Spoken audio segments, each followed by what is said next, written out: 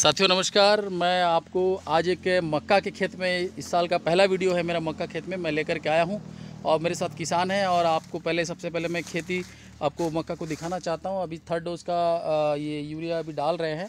और बहुत बढ़िया शानदार ग्रोथ है मक्का का। और पत्तों में किसी प्रकार का देख रहे हो आप कोई बीमारी किसी प्रकार का कुछ दिख नहीं रहे हैं और बहुत शानदार तरीके से आप मक्का को देख रहे हैं। इतना ज़बरदस्त यहाँ पे मक्का हुआ है। और ये किसान मेरे साथ में है मैं उनसे बात करता हूँ। भाई साहब आपका नाम क्या है? मेरा नाम भजन सिंह कश्यप है। अच्छा कहाँ से हो आप? बेनोरा।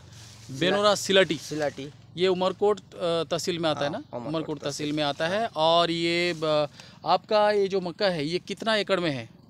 ये पूरा एक एकड़ पंद्रह सेंट एक एकड़ में है ना? एक एकड़ में है। और आपके हाथ में ये क्या चीज़ है? ऑर्गेनेटी और अल्टो ग्रो ये जैविक खाद। जैविक खाद। तो इसको आप पहली बार डालें? पहली बार डाले हो यही साल डाले हो। तो आपको कैसा लग रहा है इसको डालने के बाद? बहुत अच्छा लग रहा है। आपने जो ये खेत में जो आपने डाला आपको क्या चीज़ ज़्यादा आपको अच्छा पसंद आया? क्या चीज़ अच्छा लगा? मतलब हम बाईस पैकेट मक्का लगाए थे। हाँ। एक एकड़ में डाले हूँ ये दोनों औषध मिला के। हाँ। इसका इसके मौका बहुत अच्छा है उधर का थोड़ा डिफरेंस है। थोड़ा डिफरेंस है। यानी आपको 22 पैकेट अलग दिख रहा है और ये अलग एक एकड़ का अलग दिख अलग दिख रहा है। यानी यही है। साथियों ऑर्गेनेटी अल्टोग्रो का कमाल आपको ये देखने को मिल रहा है। अच्छा तो आप थोड़ा बताएँगे कि कैसे कैसे आप डाले? शुरू में कैसे डाले? शुरू में इस ये छोटा वाला बटल एक बटल? एक बटल और इस बड़ा वाला का सोलह ढक्कन। सोलह ढक्कन को मिक्स कर दिए? मिक्स कर दिए। यूरिया के साथ हाँ यूरिया और आप डाल दिए। और उसके बाद सेकंड डोज सेकंड डोज भी फिर ऐसे ऐसी डाले हाँ। दो बार डाले? दो बार। और अभी तीसरा डोज डालोगे? तीसरा डोज में एक बार और डालना है। यूरिया के साथ इसका सोलह ढक्कन। सोलह ढक्कन डाल देना है यूरिया मिला के डाल देना है।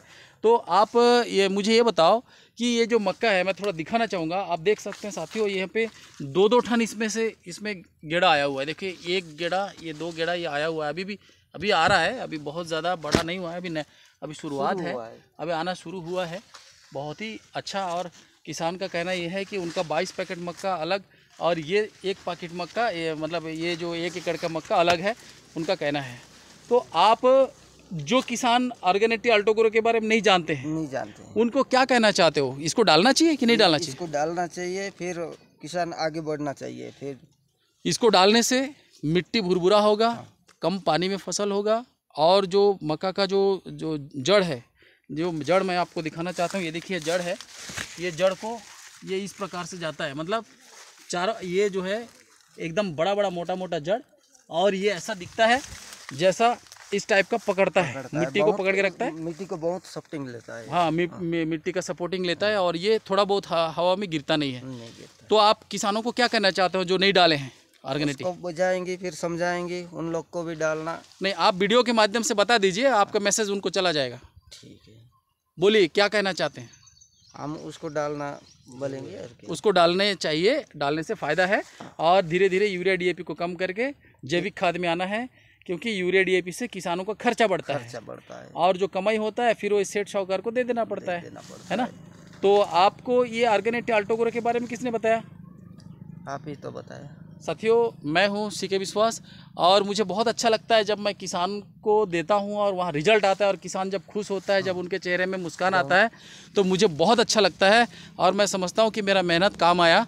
तो आपने बहुत बहुत कीमती समय मुझे दिया और उसके लिए मैं आपको बहुत बहुत धन्यवाद। और साथियों, आप जो देख रहे हैं, और ये वीडियो को, आपको भी बहुत बहुत धन्यवाद। और आपके आसपास में जितने भी किसान हैं, जो खेतीबाड़ी करते हैं, कोई भी फ़सल लगाते हैं, धान, मक्का, गेहूँ, कुछ भी फ़सल वो लगाते हैं, हरी सब्ज़ी, टमाटर, आलू, प्याज जो कुछ भी लगाते हैं तो उन सबको ऑर्गेनिक अल्टोग्रो के बारे में ज़रूर बताइएगा और हिंदुस्तान को एक जैविक खाद वाला राष्ट्र घोषित कर मतलब बनाने के लिए हम प्रयासरत हैं। आप भी हमारे साथ जुड़ सकते हैं, हमारे मिशन के साथ जुड़ करके, स्वास्थ्य भारत, समृद्ध भारत मिशन में आप भी भागीदारी कर सकते हैं। थैंक यू जय हिंद जय अल्टोस